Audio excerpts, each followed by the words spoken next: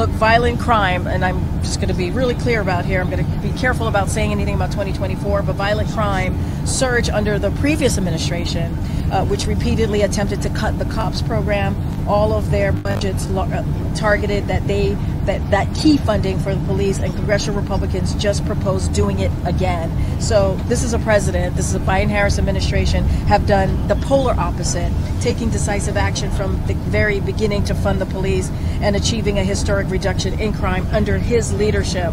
And so we're going to continue uh, to do that. Uh, one more thing I want to say that the the, the funding because uh, the president's budget also proposes to fund the police and with billions, so the federal, state, and local government can have more can hire more than hundred thousand more officers, and I think that's important to note as well. I think.